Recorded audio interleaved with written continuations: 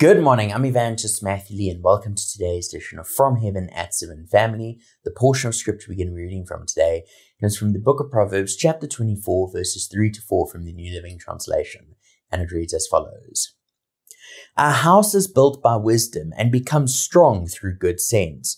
Through knowledge, its rooms are filled with all sorts of precious riches and valuables. Family, isn't that portion of scripture so true? Speaking about how we need to build our lives. What did Jesus say? Jesus said, the wise man builds his house upon the rock.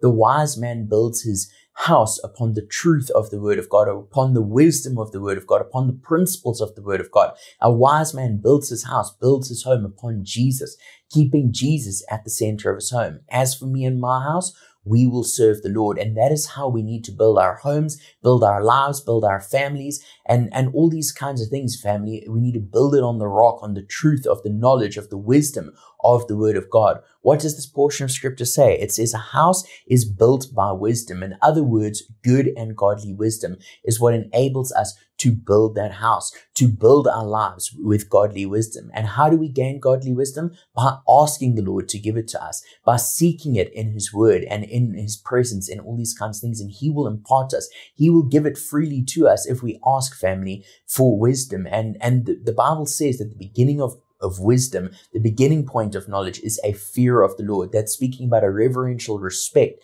and a love for the Lord. So when we love the Lord, the Lord will start imparting wisdom and imparting knowledge to us so that we can build our house as it says here. And I, I like what it says there. it becomes strong through good sense because it's all good and well that we have all the knowledge and we have all the wisdom. But if we don't have good sense or common sense, we won't be able to apply the wisdom and knowledge that we've received. So our house is built with wisdom. It becomes strong through common sense. And then it speaks about knowledge and it says through through knowledge, its rooms are filled with all sorts of precious riches and valuables. The knowledge, the wisdom, and all these things that the Lord gives to us will give us the principles in life that we need to build a successful life, to build and live a godly life, to apply God's, God's principles in His Word about making wealth and making riches and living the abundant life.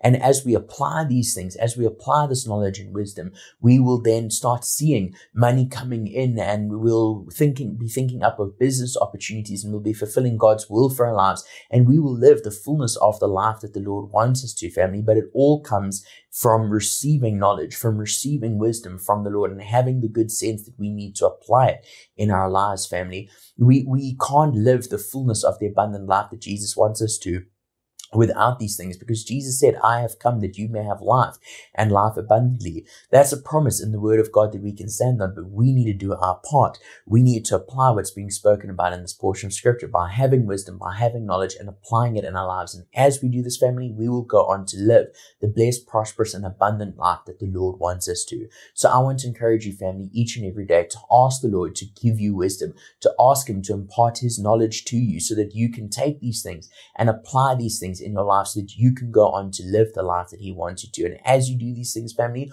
watch the great and mighty works that the Lord will accomplish in you, through you, and for you. Thank you, family. I hope that this message has blessed you and encouraged you and given you some food for thought. And before I end, I'd just like to close in prayer.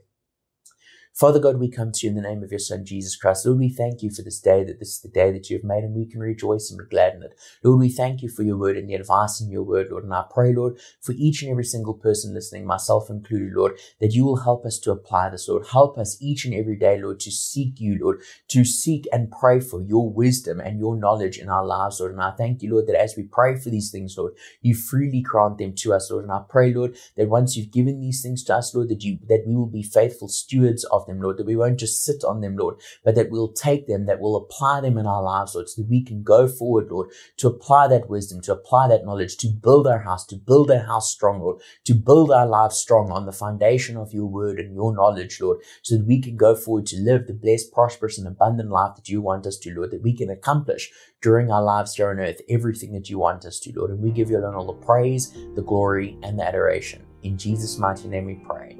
Amen. Thanks for watching my video. I trust that the content of the message blessed you and encouraged you. And if it did, I'd like to ask you to please hit the share button to help us spread this message and to get it out there to your friends and family so that they too may be blessed by this message. And before you leave, please give this video a thumbs up drop a comment, let me know what you think about the content of this video, and I'd like to invite you to please come back and join me for more episodes of From Heaven at 7, which premiere live every day of the week at 7 a.m. Central African Time on the Evangelist Matthew Lee Facebook page, as well as my YouTube channel where the replays of the videos remain for those who are unable to watch the live premiere. If you watch this message today and were touched by this message and feel like you want to give your heart to the Lord and make the decision to accept Jesus Christ as your personal and Savior, I would love to invite you to please click on the link in the description of this video that says salvation. And if you watch this message and were blessed by it and feel led to sow a seed into the ministry or to partner with us on a monthly basis, I'd like to ask you to please click on the link in the description of this video that says giving. Alternatively, at the bottom of the screen right now is the ministry's banking details as well as our SnapScan QR code. And lastly, I'd just like to ask you to please go and like and follow all my social media accounts if you haven't already to be kept up to date and in the loop with everything that's happening in the ministry and every time we upload a video just like this one. Thank you, family. Enjoy the rest of your day and God bless.